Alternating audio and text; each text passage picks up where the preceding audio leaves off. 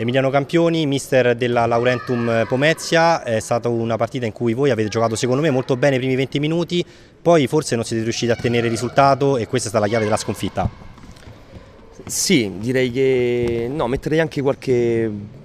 almeno la metà del secondo tempo siamo, abbiamo giocato abbastanza bene, poi è ovvio contro, contro, una squadra avversaria come quella di oggi, poi ecco il risultato ci può stare tutto quanto.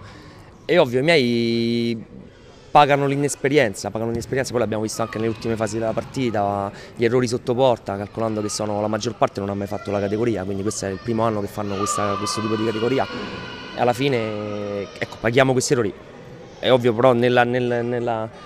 nel match, nel totale del match sono comunque soddisfatto perché insomma abbiamo tenuto testa secondo me per buona parte della partita una squadra ben attrezzata, una squadra fatta di giocatori anche se l'assenza di, di, di Renzi diciamo però gli altri non sono da meno, insomma ben allenata, una squadra avversaria molto forte. Prego. Che tipo di campionato pensate di fare a questo punto? No, noi siamo partiti per salvarci, noi, i nostri intenti sono quelli di salvarci, di fare esperienza e di, di puntare su, su, sui giovani, vediamo un attimino, noi tranne oggi abbiamo comunque sempre un paio di juniores, di juniores i rosa, costantemente si allenano con noi, quindi noi puntiamo a questo, a ringiovanire un pochettino, anche perché insomma la squadra viene da, da, un, da un campionato di Serie D dell'anno scorso, quindi noi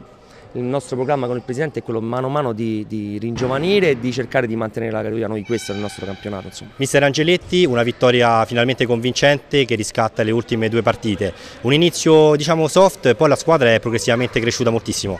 No, la squadra diciamo che, che ha giocato, abbiamo, no, non direi troppo soft all'inizio, insomma potevamo fare meno 2-3 gol nei primi 15 minuti, però purtroppo abbiamo questa cosa quest'anno che sotto porta siamo imprecisi, sbagliamo tantissimo. Questo è successo sia al primo che al secondo e la paghiamo perché poi tiriamo il risultato finale, loro una squadra bella, aggressiva, veramente gioca, credevo, non me l'aspettavo così.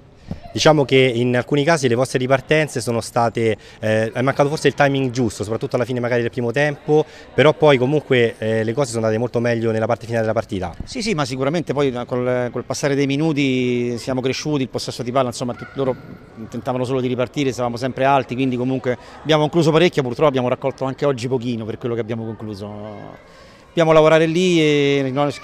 in effetti oggi con l'assenza pure di Terenzi qualcosina è mancato un po' davanti, però la squadra oggi ha reagito, ha giocato, eh, non siamo ancora bene fisicamente, questo la paghiamo un pochino, però va bene insomma, diciamo rispetto a... ma che poi sabato scorso pure a Fondi abbiamo perso una partita, ma insomma abbiamo perso 2-1 commettendo un paio di errori alla fine, perché poi insomma eh, anche se abbiamo riconosciuto i meriti dell'avversario sicuramente. Enrico Pasquali Coluzzi per Mondo Futsal TV.